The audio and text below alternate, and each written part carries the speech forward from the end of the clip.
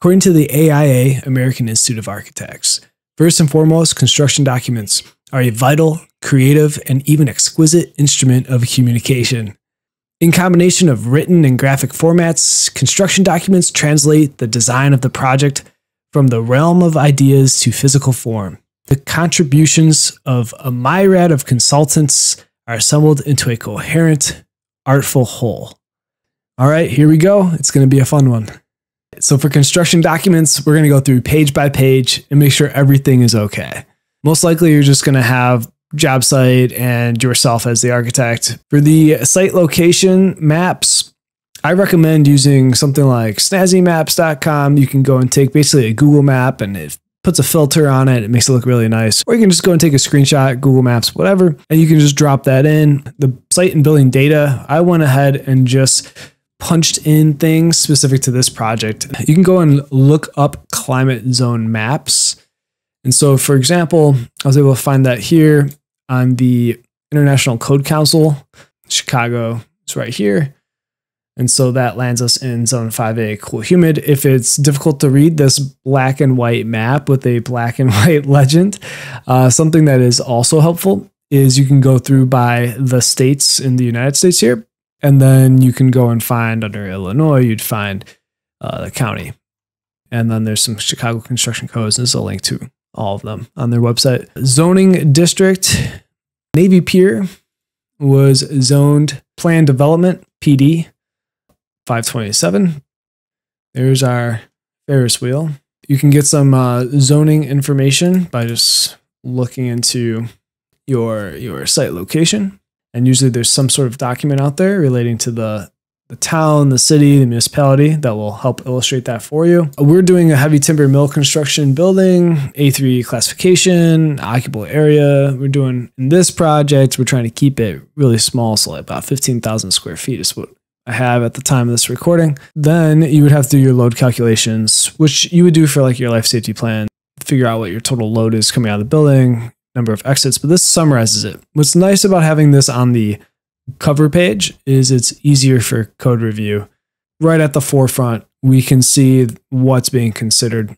All right, so if I wanted to bring in like these abbreviations, which are made from a, uh, a legend with some text blocks, I could just go and drag that in and then kind of squeeze things around to make room for them. Sometimes on a smaller project, you would just fit all this in on the cover rather than having a separate page for code and all that. What you see here is a construction document checklist, adapted and modified from a text called A Manual of Construction Documentation by Glenn E. Wiggins.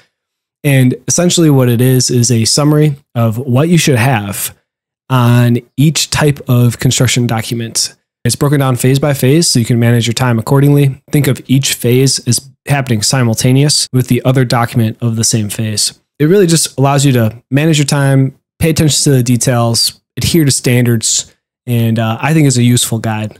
It's available for download if you'd like from my website, studiohero.co. And I'm going to put this on my other monitor right now so that way I can use it as I develop the rest of this video.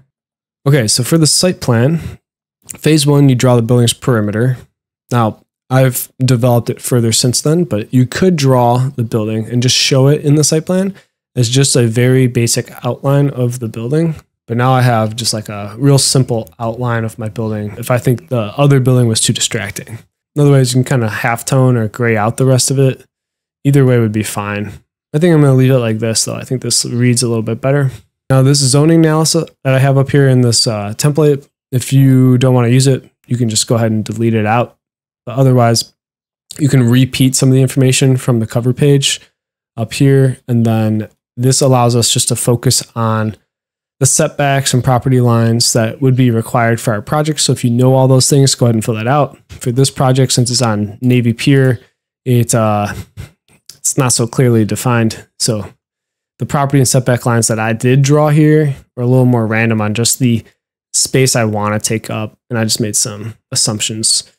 To do the property line, what I like to do is go to massing and site and use the property lines that are there and then create by sketching. You can go and sketch, you know, if you're given a property line, like area, like the actual property, then you can go and sketch that accurately. For example, like an R3 residential area, in a certain municipality, they'll tell you specifically what they want for the setback lines off the property lines.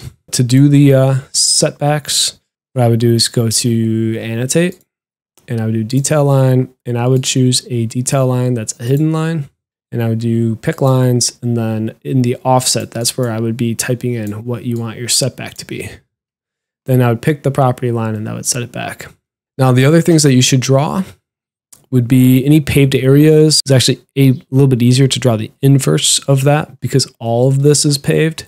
So what I did is I drew like the planter box areas slash like green space. And I did that with a filled region, choose earth. And if you don't have that, you have to make it. In this template, I already have it made. And I can go and do a spline, just make sure it's a closed loop. So if I did a spline like right here, And a little trick, sometimes if it won't close, snap to the ends, but just using a short line segment and turning off thin lines, it's a huge help. And then turn that back on. And then adjust the graphic scale is needed. So shows like this, you go to edit type, duplicate, call it the name of the scale that you want. So mine was a one foot, or I'm sorry, one inch equals 20 feet. And X represents what one inch is. And so you just type in then what that value is for X. So in my case, uh, I had already made that 120. And then the north arrow, you can adjust the angle. Okay. And if you don't have a uh, parametric one like this where you can type in your angle, you can always just use the rotate command. Then drawing the any parking spaces or anything like that, you should draw in I remember with parking, you would have a 15 foot radius on curbs. So if the car is turning, now a car, when it turns, can turn safely without potentially clipping a sharp corner. So just remember that for your parking lots. Draw in all your parking spaces by going to massing and sites. And you can do parking components on the topography or going to architecture component you can find parking spaces. You can load them in as components. And then you can go and place them. When you go to place them, you can spacebar to rotate them. You could also take it, give it like a 15 degree angle. And then you can go and array them all the way down. Let's go and throw on some dimensions. So if we go to annotate, go to aligned. Now, before I do that, I want to double click into the view. So the view is active, not the paper. Then we can go to annotate, aligned, and we'll start creating a chain of dimensions. So I'm going to go from here to the property line, maybe the setback, the other property line, the other setback. Maybe I'm also interested in the edge here. And then maybe I'm also interested in how wide this boardwalk is, but here, since I can't get the endpoint, it's cropped out. I'm going to just go close, click off, and escape a couple times. Then we're going to do a little trick. We're going to go to detail line and choose invisible. Then we're going to go and reference uh, this line right here. Then we can go here, add a line, and we can snap to that spot. And I'm going to do one more chain going the other way from the property to the setback. And then we could even go to the building or to a column line of the building. So we have some idea of where grid one and grid A are located off the property. We can also spot label based on uh, our project where everything lands. Now here you see that this is, I have it labeled at 15 because 15 feet up is where our project actually starts I'm struggling a little bit with that because if I go to my elevations, here you'll see my I have my first floor noted at zero. All right, so I found a good illustration on what I'm talking about with how it steps up. So here's Lake Michigan. Here's the boardwalk. Here are the stairs that I drew. Here's where it's elevated. And this tent structure is where our building's going. So we have this road access from the one side, pedestrian access from the other side. So all that's marked out. This pedestrian walk is about three feet up from the water, from what I was able to tell from Google Earth. Watch the pre-design video if you want to see how to do that. And then about 12 feet up from there is this walkway. So in order to do this, here without having to do the 3D model. We have to sort of hack it in a way. What I've done in this view is I created just a, uh, a detail by going to annotate the region, filled region, and I just created a solid black color. Go to circle. You can go and draw out a circle of about two feet and just split it into a quadrant. TR to trim. And then once you have that, you can go and mirror it with the pencil and do a 45 degree mirror. And that then you can go and highlight both and say make it a group. And when you make it a group, then you end up with that. And then you just throw text right next to it, move them together in pairs. All right, so I'm going to go and just say this is going to be at a negative 15 feet relative to my project. This one's going to be at a negative 12 feet. And then I can just describe my project at an elevation of zero. Noting any other key features is important. Uh, adding any symbol legends or anything like that. So let's, let's say I had like some fire hydrants or whatever. I want to throw down some legends over here that then indicates any symbology I'm using and what that means. Right next to the drawing. I indicated road access, I indicated that there's a ramp here, mark that Centennial Wheel is within this region here. So what I probably want to do here is just mark like that this is green space. So I'm going to go to text. I'll just describe this as green space. Okay, so before annotating anything, make sure you're in the view. And then let's go and annotate some of the materiality. So I'm going to go to text, drop in a little uh, text right here, green space. And then I'm going to do another one for the concrete uh, paver patio or decking. And then usually when it's like a whole surface that you're referring to, it looks nice to do it like this. That kind of shows that you're talking about the whole surface there. This would be where you could start to describe how some of the things are made in on the site. So I could do a section through the the raised concrete decking and I could do a section through the boardwalk, right? To help illustrate what those items um, are composed of. What I could do is kind of mimic a little bit of what I'm sort of thinking here.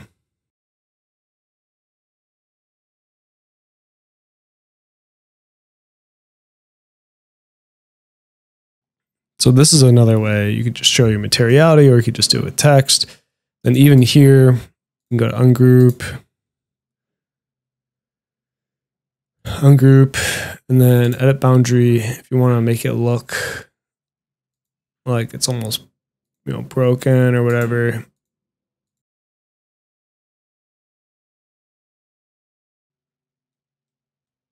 For the wood decking, show the pattern that we want it to be specifically, or that could be shown in like more of a detail.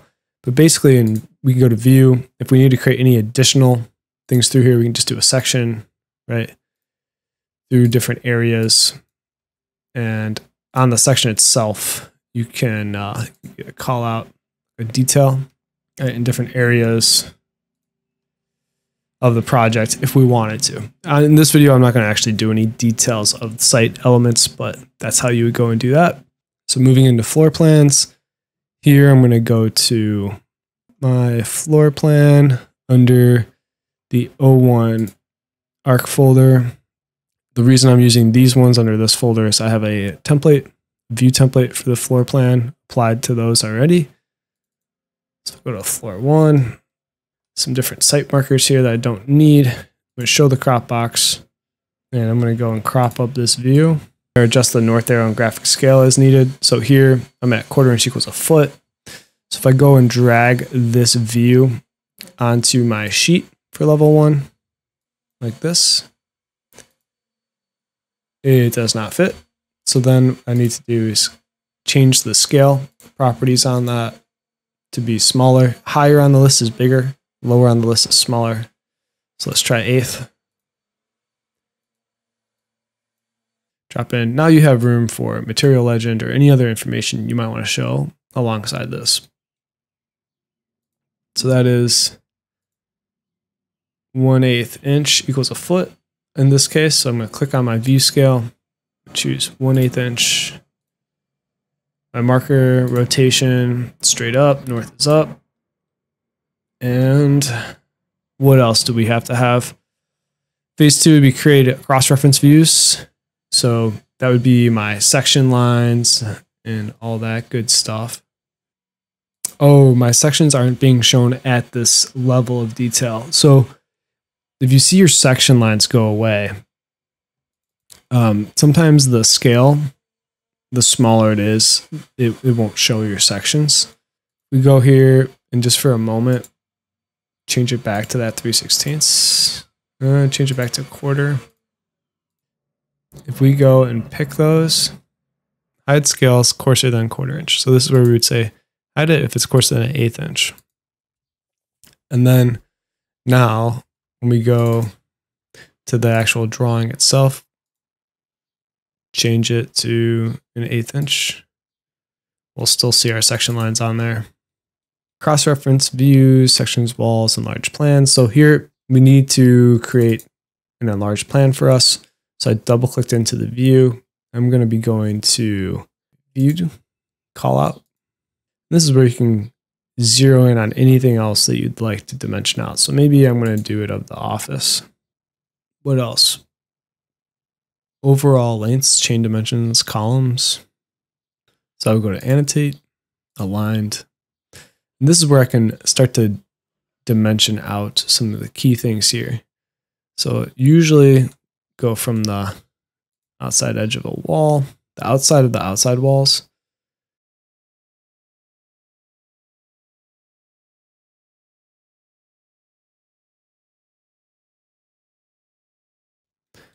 All right, so your overall dimensions go on the outside.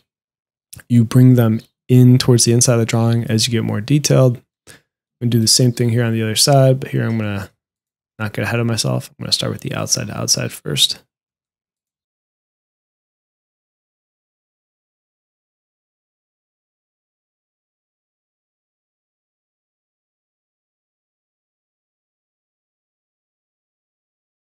So I would just go through and here's where I could, you know, dimension out anything else that I need. But this at least gets me my main walls. Now I need to know like normally where all the exterior walls jog, columns, those usually land on the column line centers. So it's all good. Interior walls usually go center to center. So it's kind of easy to, to memorize because you got your exterior walls go to the outside face your interior walls, you're going like center line to center line typically, or you dimension to the face of the framing member. Up to you.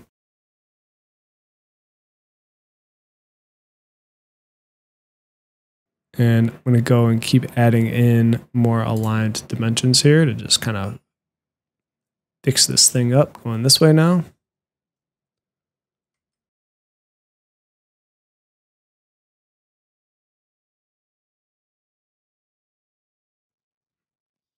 So we can go pretty crazy with this, or we can call it good. So we're going to call this good. So next would be tag rooms. So I'm going to go to annotate.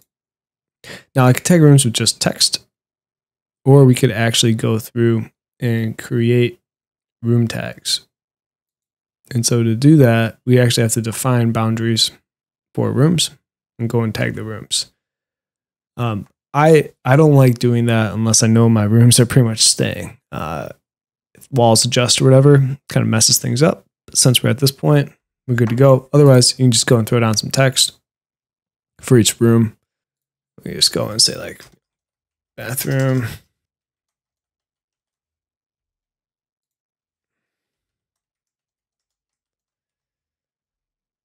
And go and underline it bold it. Right, we could go like this for our tags, or under architecture, we can go to do rooms. Here we could just start dropping in all of our rooms, right? Now, if this isn't supposed to be one space, what you might want to do is use a room separator first. So let's say this is supposed to be the, the lobby area. You can go and draw that in. You can go and tag your rooms. So I got my lobby.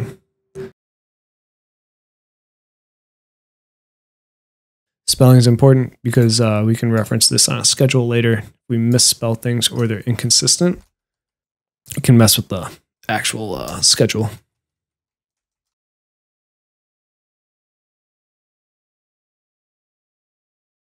So I would go and do this for each floor. And then from here, what's kind of cool is you can go to create a graphic legend, but it's not under legends actually. Annotate color fill legends.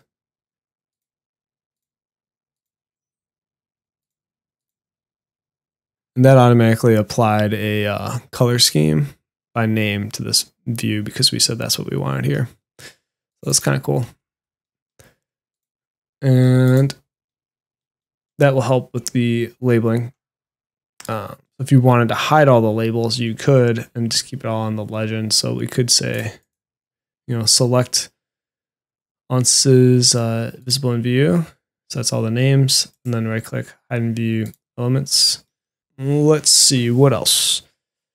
Um, we could also be duplicating this view and just showing our room tags and all that in that view with the color legend and having all the dimensions. This is pretty comprehensive on this one. Everything's compiled into one graphic. But realize you could be doing multiple views, layering your information separately into each view. That's another way to manage your drawing. Windows and door tags. So we go to annotate we can tag by category. And we can say, okay, tag these doors. Here you see there's a question mark here, right? It's not sure what to identify this door as. Here, let's say this one, for example, it says 249. So if I click on this, 249 is the identity mark on this particular door. Right, so I can say this exact door. And on a schedule, say this exact door goes to this spot. So here, when I click on this, there's no mark. So here I can just call it like A if I want. And that could be my, my entrance. So here's a, a great way to save some time, but it will require more manual review to make sure there's no errors. You can say tag all. You can say, give me all the objects in the current view Give me all the door tags. Give me all the window tags. We can just say apply and okay. So now the rest of the doors are tagged. Looks like I did a really nice job here. Cleaning those up nicely. And got the elevator so that's good. We need anything else. General notes, symbols, legends. So you just want to think about, do I want to throw any other notes on here? Do I need any other symbols? And if you don't, then you're good. So I'm calling this good. So we'll save it and we'll move on to the roof plan. All right, so we're dropping in the roof plan. Now, realize that when we're creating the roof plan, we're going to want to create all the floor plans and then move into roof plan. For the sake of time, for the sake of this video, everything I did for floor one plan, you'll just be repeating for floor two, floor three. So here for the roof plan, I had copied the site plan and I made sure that my screening here on top, uh, I went right clicked, override graphics in view by elements, and I overrode the projection lines here as dashed, half toned it, and then we could even up the transparency on this a little bit to apply and okay. So in that way we understand there's some kind of screening going on here. The other thing I probably don't need in this roof plan here would be these patio items. So I'm going to right click and say hide and view elements just to make this even simpler.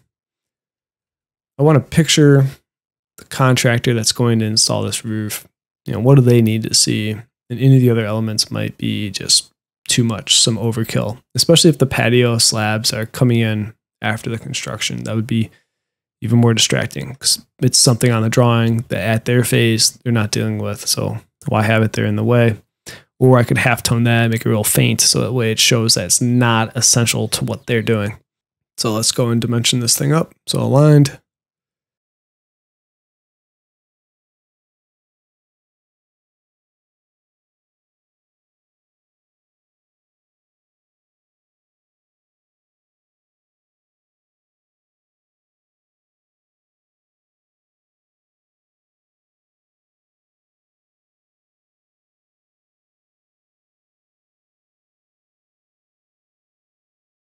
All right, so let's go and throw in some spot elevations here.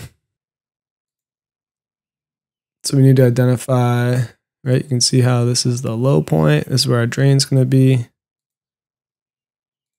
And this is a high point.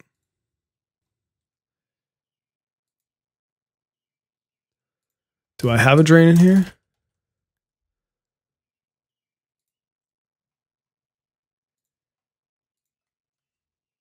There we go.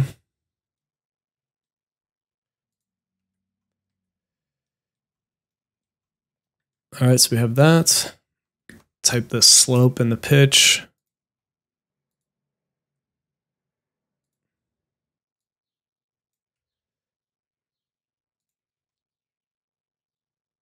Yeah, so this, you know, has a radius to it. So I think I might mark that from an elevation view. I'll have to just note it. So what I initially had before this was I had uh, every line sloping, and then I had a lot of like flat, low spots. So if I go to edit footprint, this is what this sketch looks like now. So there's no slope on these elements, and then there is a slope on these ones. And that combined then creates the a good a good roof pitch. So then from here, I'm just going to go and annotate that out as I was. Spot elevations.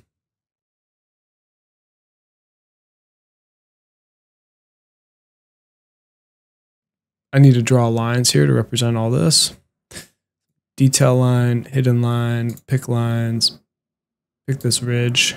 Now it's kind of easy because then I can just snap to it by doing detail line.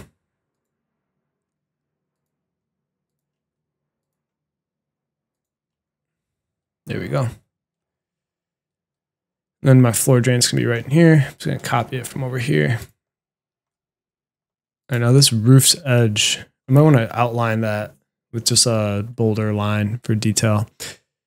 Detail line, wide line. Oh, we got to turn off thin lines.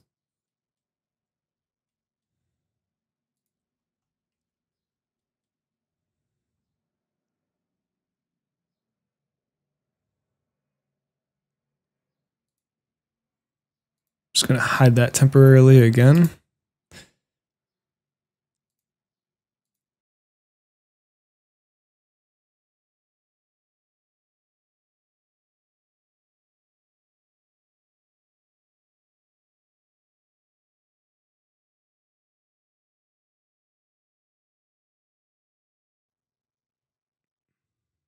If I do this, divide parts.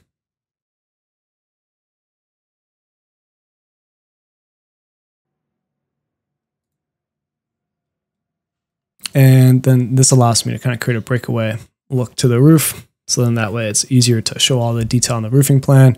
And since it steps down again, I have hidden lines here representing the rest of this roof here on the low end underneath this larger roof right here air conditioning unit.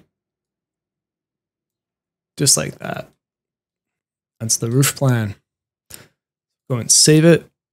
If there was anything other that we needed to show on, like additional dimensions or any section cuts or general notes or symbols, we have room to throw that on.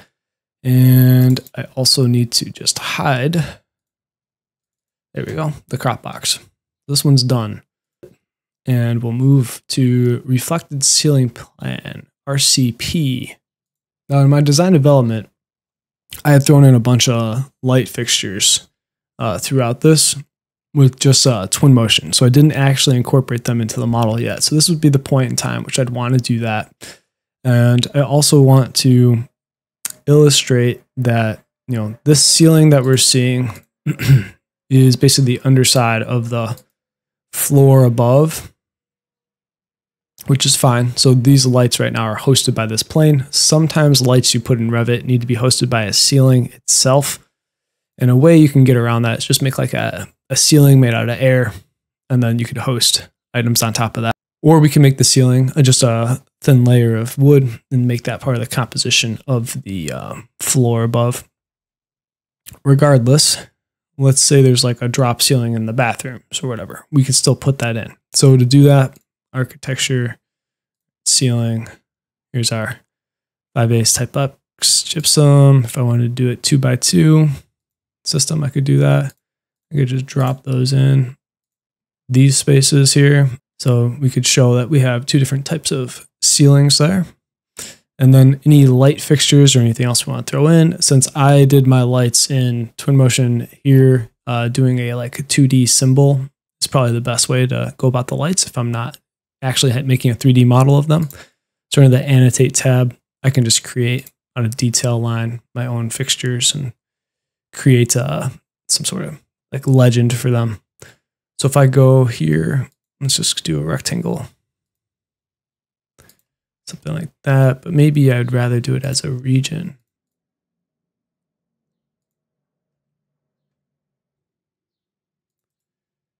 And I want to match the detail here. So I'm just going to do pick lines on that. And then copy. And then these light fixtures, whatever we want, right? We can go and throw those in. Same thing these bathrooms. Maybe there need to be more lights drawn in there. We can go and throw in a bunch of can lights. So in this case, we can do that with component. And sometimes when you're doing uh, when you're doing this, it's nice to underlay what's going on below. So I don't want to put like spotlights on the toilets. So let's go and uh, underlay. A little bit of info here. Underlay. Okay. Oops. It doesn't look. Ah, that's why.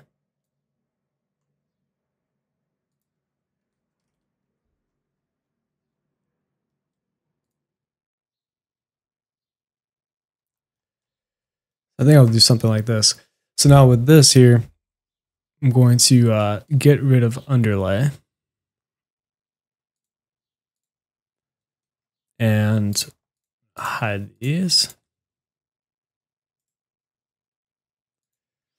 We would need exit signs. We need our HVAC, you know, supply, uh, returns. We can draw all those in. We would like to, or here, we can keep this just as like an electrical plan or a lighting plan as well the ceiling. Um, but essentially what we want to do here is draw how the finished ceiling is supposed to look. Get this into our sheet real quick. So for the rest of the ceiling plan, I'm just going to go through, and annotate a few more things.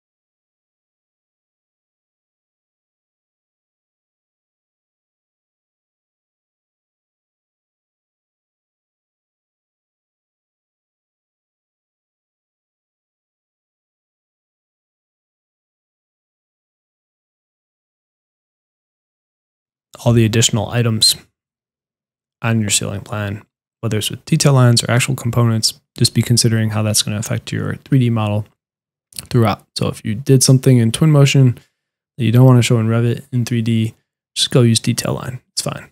Or any of those components that are 2D view specific. All right, so you saw that I did not put in any things for HVAC, and I really only put in some of the lighting. I didn't put in anything that related to fire safety or whatever. So if I was going to hand this off to someone that was more of an expert in that field, uh, and allowed them to do all the placement of, let's say, life safety requirements, HVAC, air handling equipment, I could say, hey, here's my spaces. You know, draw in what you need to draw in, and then let me coordinate that with the rest of the drawing when you're done. That would be fine too. But in terms of a ceiling plan, we've got a legend We've got symbols and locations, generally where we want things to be. And so, as far as I'm concerned, I think that's good enough for now. All right, exterior elevations. Let's get into that. Now, it's a lot nicer if the below grade items show up in dashed lines. And there's a couple ways we can approach this. Uh, I will show you real quick my east presentation. A view filter that we can do if we are in a mode that is in uh so here if I double click in we're in a mode that is consistent colors shaded or hidden line this will work. But as soon as we start introducing textures this becomes a little bit more problematic. So I like doing something like consistent colors for this. Now with this to work properly we would have to go into the view template and under filter override filters edit you can do dash lines as the pattern. Color black no override. Projection surface background solid white. Nothing here on the uh, pattern and then cut poche. Here's my south. Take that on, line it up. And with the south, I need to change that to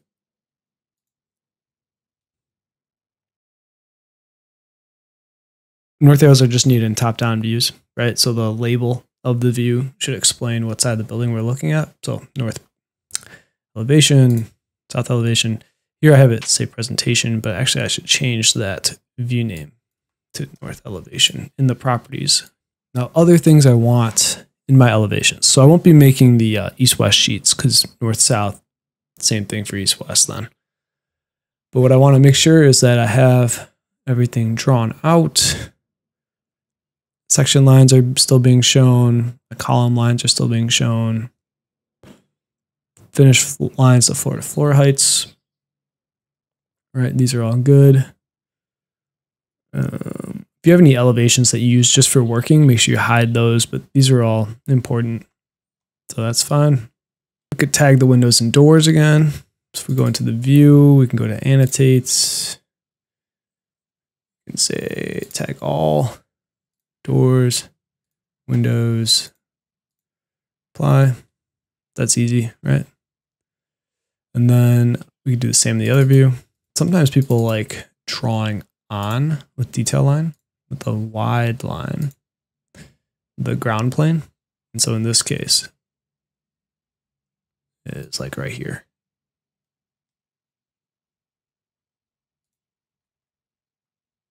And maybe this patio just hide it.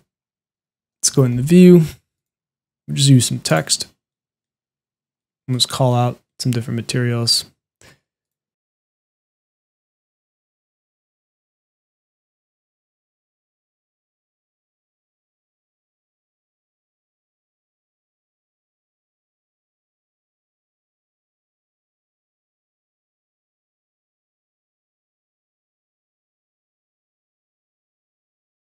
In the rendering, I have a wrap that's on all the glazing, like kind of a screening and so I want to note that here. If I had caps off, I could just click uh, into it, and then there's a little all caps. That moves everything to all caps. So if you're trying to stay consistent and you forgot about it, that's a nice, nice little feature. You do the same thing for east and west elevations. Let's go to building section. So for building section, different building sections, right? You'll have one that goes through lengthwise of your building, the longitudinal section. You have another one that goes uh, across your building, the traverse uh, building section. And you'll see here we have the transverse building section. We don't have the longitudinal building sec section shown. I wanted to do that view section cut right through. And then you usually want to show the more interesting side. However, also want to show, being the purpose of this, is how these different systems connect together. So cutting through where the stairs are also kind of makes sense because you're showing how you to circulate the building as well. So there's pros and cons of different ways to approach this. I could do this little zigzag here that allows me to break the line. So that way it doesn't muddy up my drawing too much. So if I click on this and I zigzag, it doesn't do anything to my actual section view. It just breaks it up in the drawing so I don't have all these extra lines coming through my entire drawing. All right, let's go to those views. With section two, we're going to focus on this one. Now, what I did here is I made a template for this view.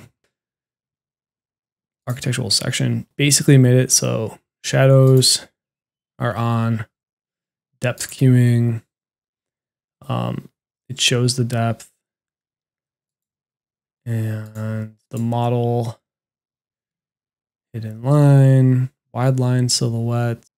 On the model, all the cut is poche. That's basically it. So that is how we get this um, kind of main graphic. From here, let's go and crop it nice and tight, which it is. Then we can go and drag this into the sheet.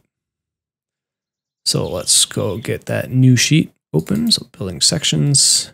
I'm going to drag in that building section. I could call it north south.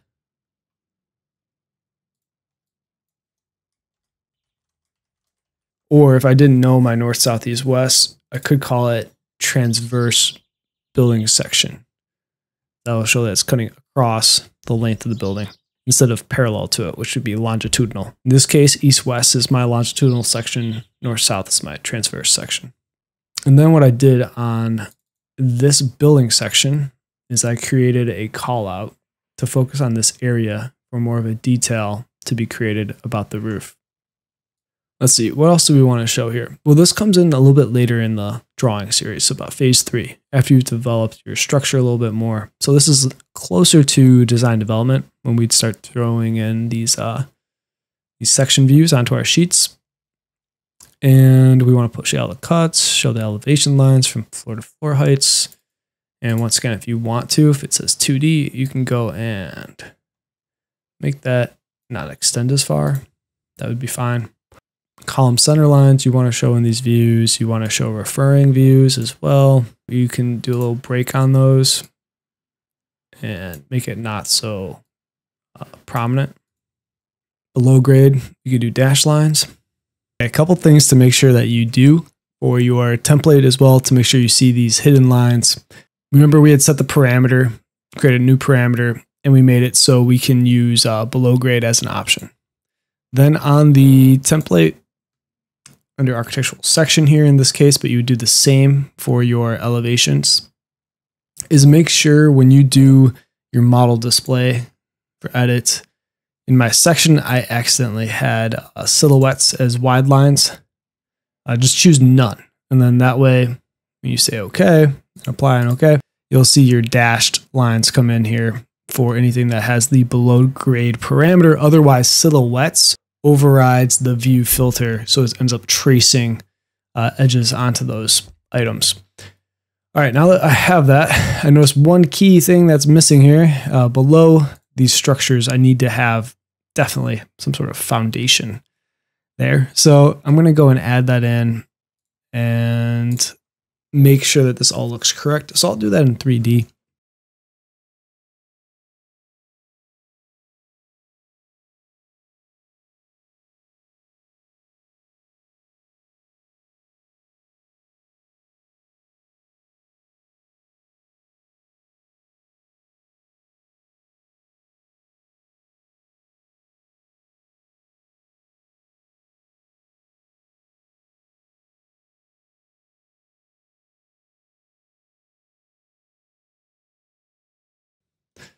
So here we want to just note out anything that uh, maybe is a little atypical.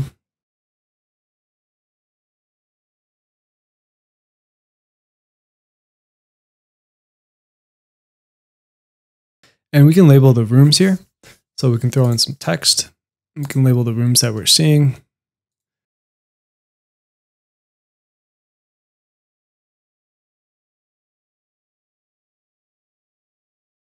So if we go to our finished floor, go to view, we could do a view template on this. You can see how it shows all the circulation, which is nice, our elevator, right? So it's it's a cool section right now. I think we're best off focusing on just one. So get out of this one. We do have a, here we go, wall section to go to, go to view. So in this wall section, there's where we have our detail for this spot here. We'll throw this wall section on our building section page as well.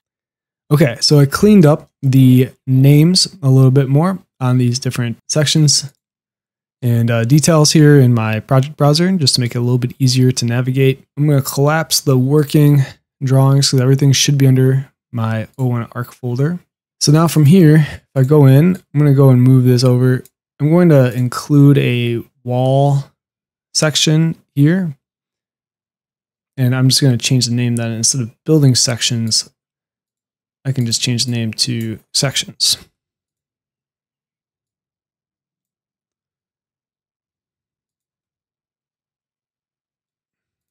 I'm not going to do much with this wall section here. It's really just kind of describing where this callout's coming from. Right, this page is done. If I want to make another section page, I can. What I could do is go to uh, double right click on this and say duplicate sheet with detailing. That'll include the graphic scale. And then here I can drag in that other section, the east-west building section if we'd like. It's rather large. So the crop box here, you have our little zigzags on it. And we can go and crop some of the building out if we wanted to show it at this scale. So you could do that. That's a little trick for you. There's the slider. Oh, what did I do here? I need to go back to my ceiling plan and make sure I have the name on the sheet correct. Cool, so I'll just go and label all these rooms. So I'm going to do that. From here, what we could do is label out anything additional. Things that are atypical would be like these crazy arches here. We could call those out if we wanted to. I'm going to just keep this drawing. This one here a little more simple since we spent the time on this one here. Okay, so now we're going into wall sections. So we can develop this a little bit more if we'd like to. Now with this wall section, purpose is to manage the structure and its composition. So let's go and uh, unpoche this here. So if we go to VG on this, all cut patterns, we're just going to clear overrides. And we could also start to call out these details if we'd like to and how they interact with each other. Clean this up a little bit by um, going to view cut profile and we want to edit this one based on this and we want to flip there.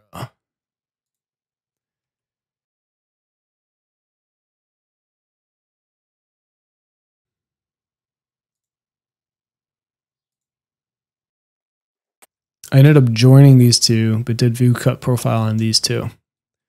So now, concrete rigid insulation. This should be layers of sand and gravel. Go to edit type, edit structure. Here's the gravel. Why are we not seeing this pattern? Hatching pattern. Should be showing. Fine detail. Yeah, so that beats me. But anyways, that's the idea there. This floor, this patio here, we can bring it in a little bit more if we'd like to. We also can show like rigid insulation in here.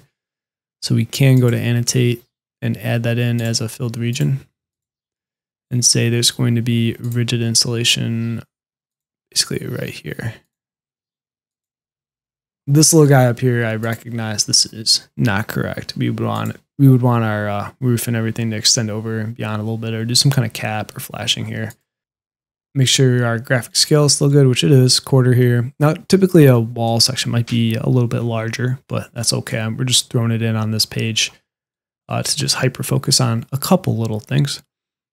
But if I go to annotate aligned we can just string some dimensions up there. We can dimension out thicknesses or label the kinds of walls that we have going on here. Let's just go and add a little bit of annotation here.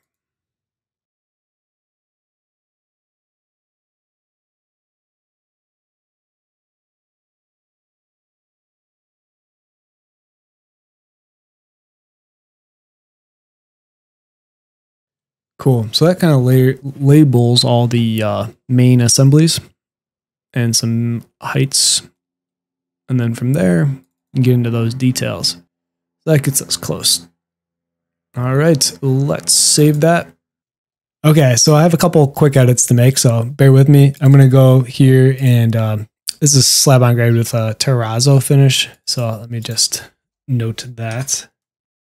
I'll just edit this with uh, detail if I go up to annotate, we can do a masking region and I'm just to sketch out uh, some sort of like capping here.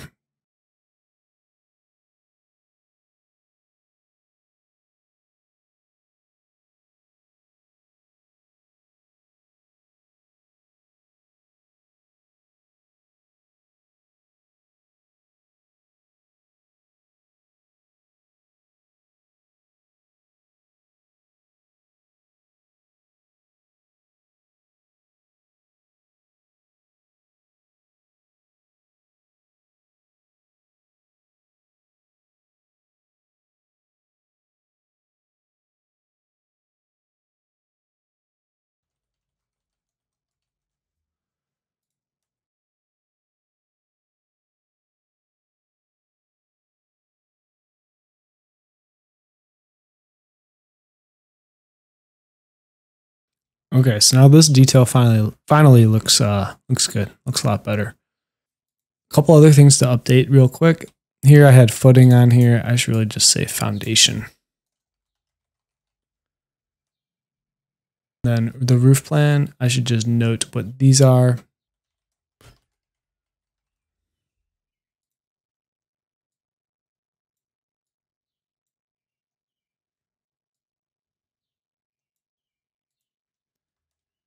Okay, so let's look into making an enlarged plan as well as an interior elevation from that plan.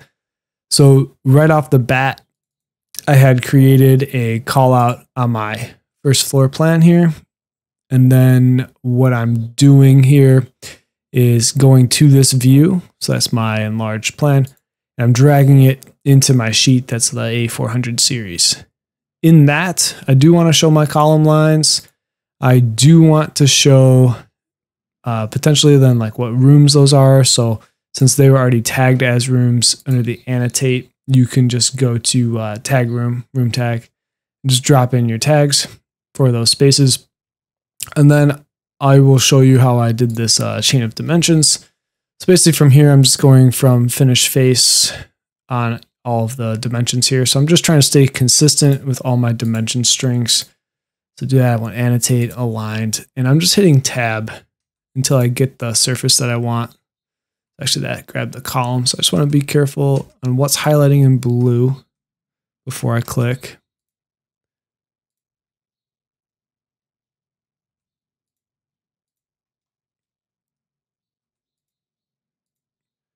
And we place it somewhere that's not too messy. All right, so now that's looking good. So I did a string there, string there, and string there. And I could annotate at this point any other details that I want to do to point out anything that's atypical or that's really important.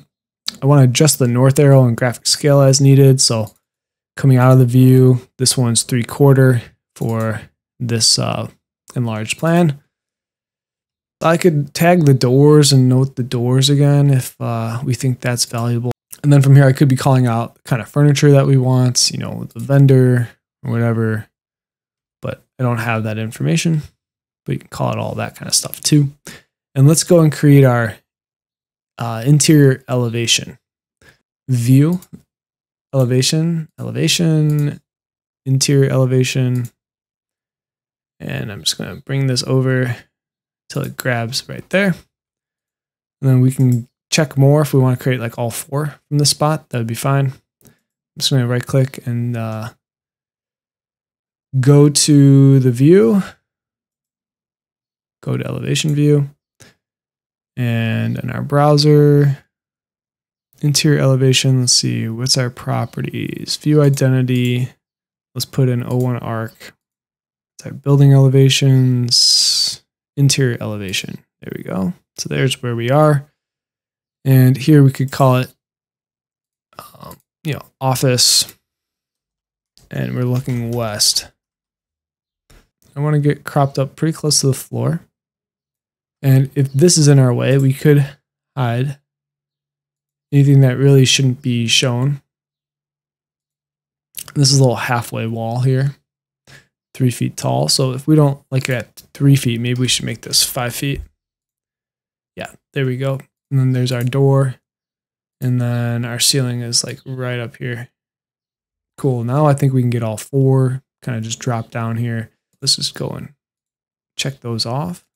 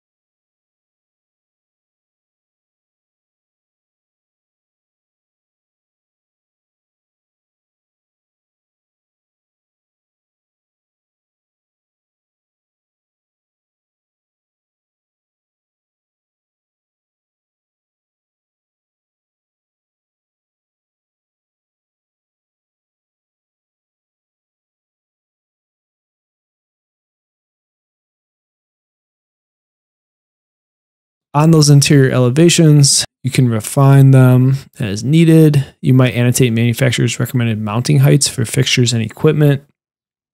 Any other miscellaneous notes, material hatching. So, for example, what kind of paint finish we have Sherwin Williams Glacier White. And in your specifications, you can talk about like the sheen and the application or whatever. Just kind of say, like, you know, all the walls here are getting Sherwin Williams Glacier White. In each view, you can go and annotate your finishes, finish materials, and what have you. Um, and coming in, you know, I, I might even want to think about just doing a little poche on all the cuts. All right, so I made my scale match. So it's the 3 ace. Here I have a north arrow because it's a plan view. That matches 3 quarters for the scale of this. There's my interior elevation marker. Now the numbering on these, you know, probably north should be 1, D. Okay, so now we got A, B, C, D. Okay, so now I'm going to go into my details. So for our details in phase one, you want to create some kind of preliminary idea of what your wall thicknesses, floor, roof thicknesses might be based on a typical composition of those elements. So you have some idea of what's been used in the past, what you're thinking. Once you do that, you can start drawing out your plans. Phase two, you want to add in additional preliminary detail drawings and detail sheets or create a detailed book, interior wall partitions, plumbing walls, any other type of wall, maybe even exterior that is going to be used throughout to create the style that you want. Now, phase three, phase four, you fully develop your details. So that's in design development, construction drawings. That's one. That's my roof. Here's my wall. And let's see, that's one and a half inch equals a foot, one and a half inch equals a foot. So these are rather large. They could be even like three quarter, but I'm, I'm okay with that. I'm going to go into here. We have half inch aluminum cladding panels. We have furring strips, rigid insulation, vapor barrier, cross laminated timber panel, vertical furring strips, gypsum paint finish. This is my typical exterior wall. So I want to show you where that came from again, and I'll show you how I made this. So if we go into a uh, floor plan, let's start there. Here you can see that we had some sections being created. So we have like this wall section here. This call out is coming from this section right here. Typical exterior wall assembly. Going into the detail view. This one I did just straight up. So I have all the layers basically made in the edit type properties, structure edit. They're all laid out here. You can take a screenshot if you'd like. I have my finish material, my thicknesses. Got it all laid out right here from the outside to the inside. The metal furring and gypsum, you can even double up on the gypsum. Uh, you want to insert another, finish one.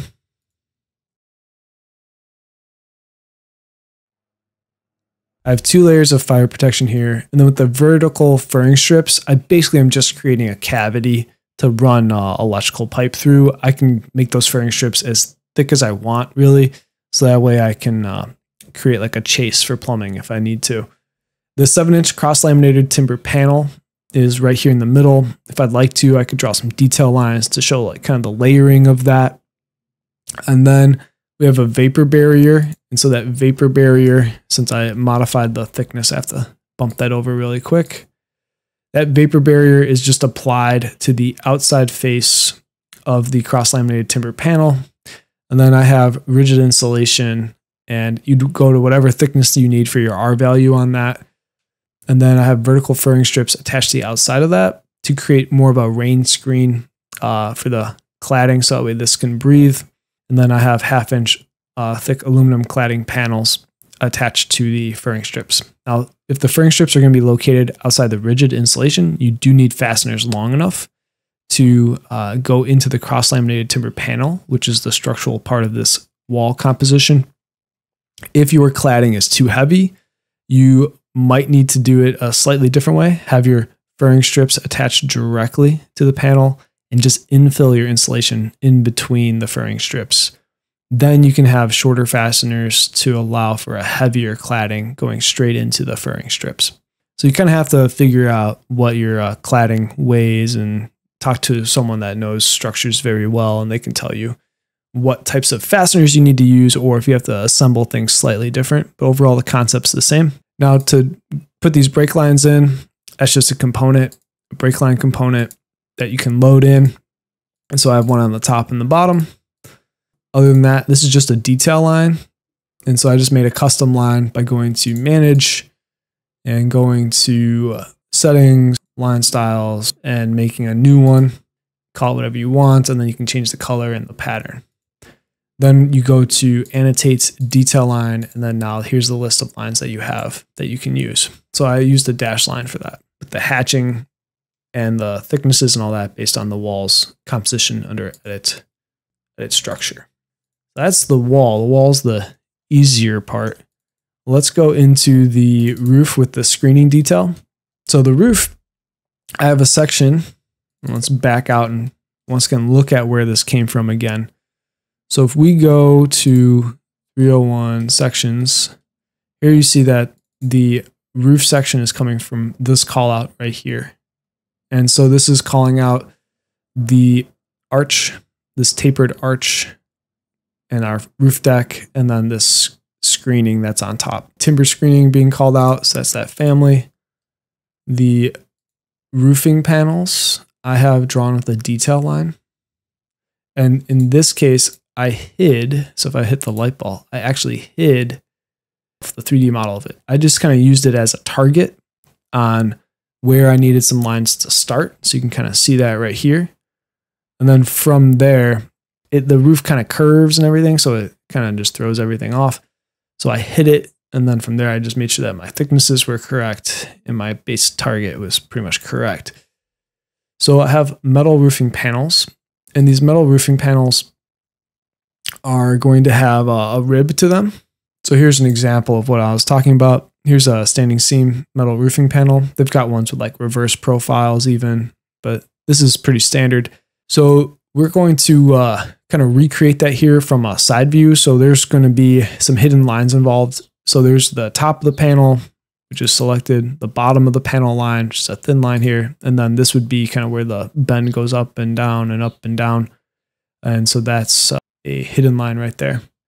Once we get past that, metal furring. So this metal furring, so from here to here is a metal furring that's going to be attached through an EPDM membrane that's going to be rolled onto some plywood, which I actually forgot to note. So let me go and note that right now. So we would use like structural plywood for that. And then this way we can attach the plywood through all the rigid insulation into the cross laminated timber. And then that way our metal roofing fasteners don't need to go all the way through all of this rigid insulation. Uh, three layers here of two inch rigid insulation with staggered seams. So I just drew that up. Uh, I, I did rigid insulation components. So if you go to annotate, you can go to component detail component. And here you can load in rigid insulation sections. And then what I did there was I just drew some detail lines to show the staggered seams. Then another detail line for another vapor barrier. And then we have our structural decking, cross laminated timber. And so that's done with one detail line that's a wide line. And then I made sure to go up an inch and a half by just doing pick lines offset. So if I go to annotate detail line, I can choose a thin line with pick lines and do an offset of 1.5 inches, which is about the layer of each lamination. I could just keep doing lines like that. So anyways, I did that, the correct number going up. So that's one, two, three, four layers at an inch and a half thick, which equates to six inches. And then underneath that, the cross laminated timber decking is attached to the tapered heavy timber arch. And so that's another thing that I hid in the view. I hid the arch and I used the lines on the arch to then verify how deep that needed to be. Now, this arch that we're seeing, you see multiple lines there. That's because there's quite a few arches kind of down the down the line here. And so I just picked the first edge and it's, if you remember, these arches are kind of twisting. And so that creates a little bit of confusing look to it. So this cleans it up a little bit to be more simplified by just hiding that and then using a detail line with wide lines to create that. So this then creates, I think, a pretty good looking um, detail for the roof. Now, these uh, screened panels, right? There's there's no detail yet shown in 3D on how these are going to attach to the actual roof itself. So what I did here is I drew a group. Uh, so basically, these are a bunch of detail lines. And then I highlighted and then I clicked on create group and that grouped these in. And if I ever need to edit them, I can go and edit the group by double clicking in and changing things. So I threw in basically just some detail lines here to create a plate and a standoff bracket. And then I used hidden lines for detail lines to create basically where the base, like a base plate for these uh, standoff brackets to be. And this I'm going to draw in fasteners here. So I'll do that real quick. One one way is yeah, fasteners that go all the way through Second way is, you know, this goes all the way down and through, and then you have to kind of notch everything else around it. I'm thinking maybe fasteners would be faster and easier. And then I also did the same thing up here, but to do these bolts nice and neat, I actually did throw in the component for the bolt, and then I just de- I did a detail line, pick line, and I just traced the bolt with that. And I made these hidden lines, dash lines, and these solid to show that these are actually embedded into the timber all right, so let's take a look at how I did that. So if I go to annotate and I go to component, here I can load in like a bolt, right? So I have some already loaded in. And I want a bolt side. Let's just do 5 ace. I hit spacebar. Oops. I'm flip it. And here's where I just basically placed it. And then if you go to annotate detail line, and you pick lines, then now you can just trace the lines that you want. Here I just did the shaft and I made the shaft lines just hidden lines. I'm to undo that. But what I do want to do is show some bolts coming down here. So I'm going to go back to component Now, I don't know if I have any kind of lag screws. I do. And so I'm going to do 5 eighths again. And I'm going to spin that around. And we'll place one here. Place one there. I need to drag that. This one will just delete and copy this one now that we have it.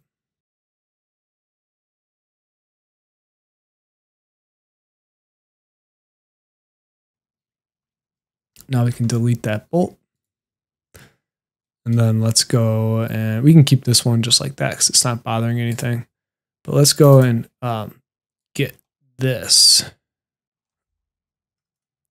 And we'll copy it into the other one. So I think that's all of it. Control C to copy. Go into this detail. I made these two different because the heights were slightly different. And highlight all that. I might want to make this into its own little group, but I don't think I can.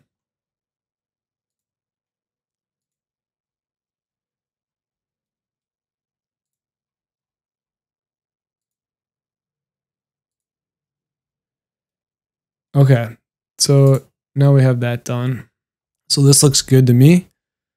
Got these lags going through, got bolts going through, and maybe these are like uh, like threaded into some sort of threaded inlet.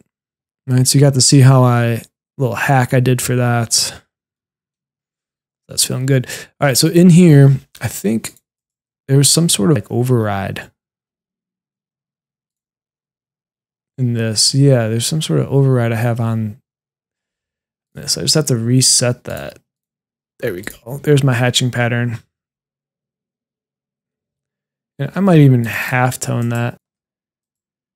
Graphics in view by elements. Half tone. Insulation, just to tone it down a notch. That looks good. Okay, I like how those are looking. I feel like in this detail, it, nothing's really actually touching that. So I'm going to hide that in view.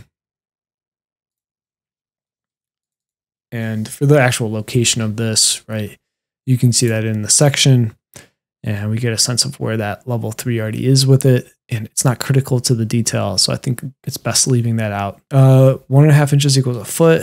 I think I already updated this. Yep. So that is it for details. We're going to save that.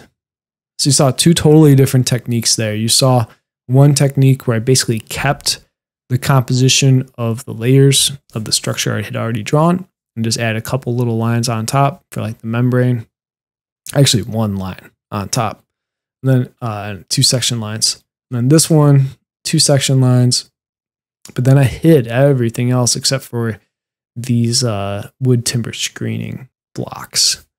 For the annotations, I just make one and I copy it down. It keeps everything lined up nicely. So in my template, I have uh, some schedules kind of ready to go. So that's what you see here. Door schedule, I do count, family type with height type mark. Window schedule, you'll see like all basically the windows I have in here right now are curtain walls. Room schedule, so this you can go and like total up the square footage if you'd like. And then I have a keynote, generic keynote one here, and you can use that with a note block schedule.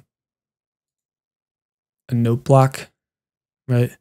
You can throw down some keynotes and you can then use this as like a text note to kind of a custom schedule.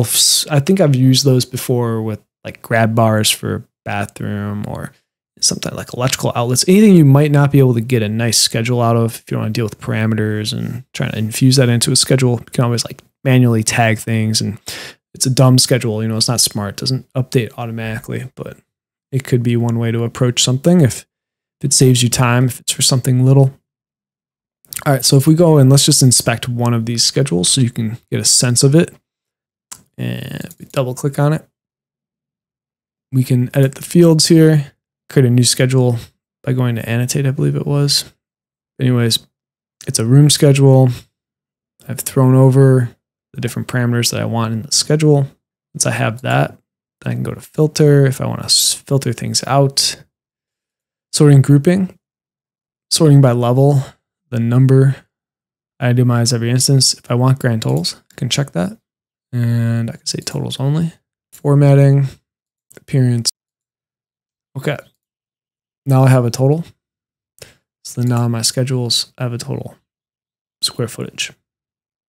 And this, once again, is just for floor one here, right? So that's the room number, the name, and the floor. So obviously, uh, as I add in my other floors, I'll be adding up square footage. Um, phase one, phase two, you probably won't have schedules. Phase three, you would uh, check the type of instant properties you would uh, name uh, instance properties. So basically, like each item, you just want to check the properties. You might need to add additional parameters because these instant properties, instance properties, and type properties are what populate these schedules. So, for example, I'd click on the doors. I'd want to double check like what my uh, type mark is, if that's correct. So it's filling in the schedule correctly, what the naming on it is, make sure all that data comes in correctly. I'd also want to check the formatting and titles of the schedules so that way they're all consistent. So that's what you saw when I came in here and was looking at the formatting here.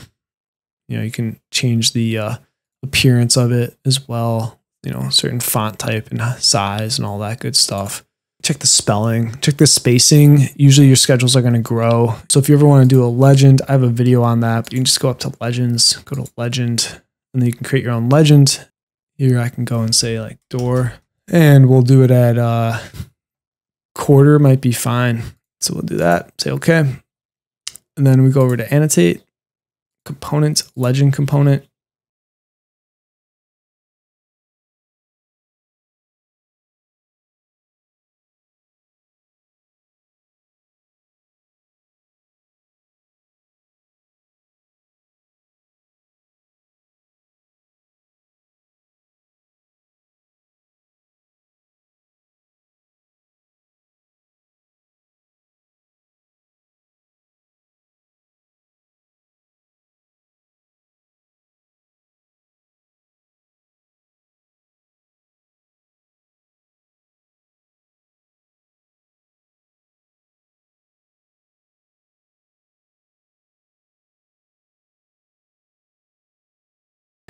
All right, but I have a, a deeper video in this if you want to check it out. Then that's pretty much it. Uh, I, I want to show you on the cover page then how we can get rid of any drawings that we don't want. The cover, I have a list drawing index. I don't want to see uh, 900 3D drawings. So if I go to 700, see how there's an X there? That's going to exclude it. So I made it where anytime you have an X, it'll exclude it. If I change this to 90X, then you'll see on the cover, it's no longer there. So let's see, I have my site plans, floor plans, roof plan, floor one ceiling plan. So these are the ones I developed in this video. So that is good to go.